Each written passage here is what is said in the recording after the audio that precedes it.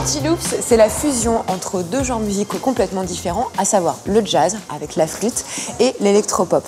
Et vous allez voir qu'ils sont ce soir en enregistrement et que ça travaille très très dur. En même temps, j'ai hâte de voir à quoi ça ressemble, le concept. Jazz, électro.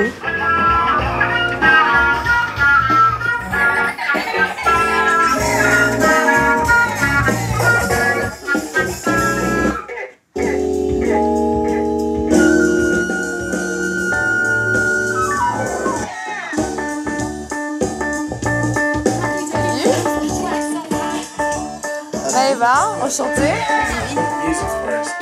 Voilà, je, je suis arrivée un peu, euh, j'ai ouvert la porte euh, de, de la salle sans respect aucun. Salut. Maëva, enchantée. Bon, alors Ludivine, explique-moi un petit peu.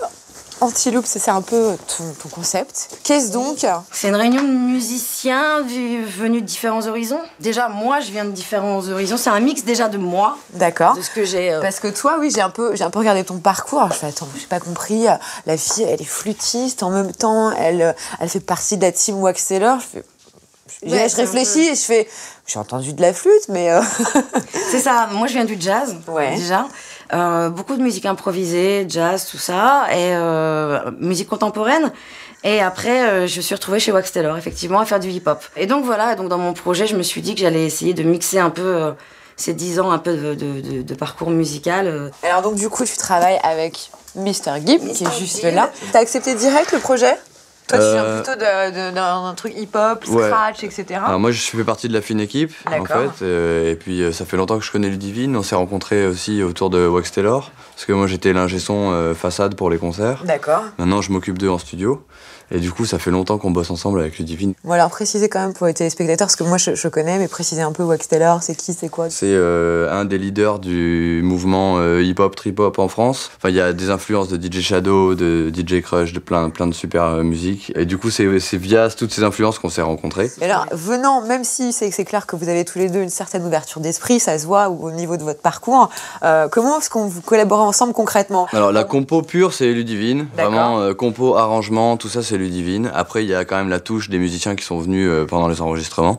Et en fait, le scratch, c'est vraiment à la fin. Ce que je vous propose, c'est que je vous laisse enregistrer, et puis après, peut-être qu'on peut regarder un peu comment, euh, comment ça donne, le morceau fini, tout Ouais, ça. on ira écouter un Ouais. morceau qu'on a enregistré. Ce que je vais faire, c'est que je vais mettre là-bas, moi, tu vois, comme, comme, un, comme on a un vrai ingé son, je vous écoute, et puis après, on écoute euh, le petit morceau fini. Ok? Allez, c'est parti. Oh, yes. Oh,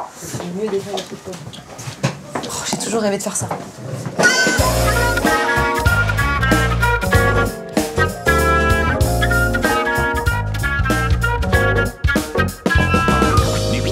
On écoute C'est bon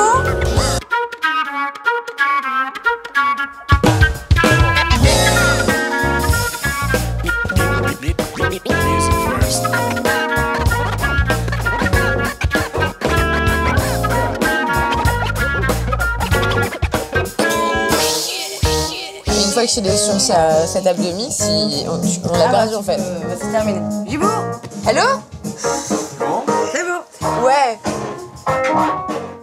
Alors dites-moi, là c'est un morceau qui sera euh, dans l'album Oui, c'est Ouais. euh, même sur l'EP qui va sortir le 30 mars. l'album L'album dans quelques mois plus tard.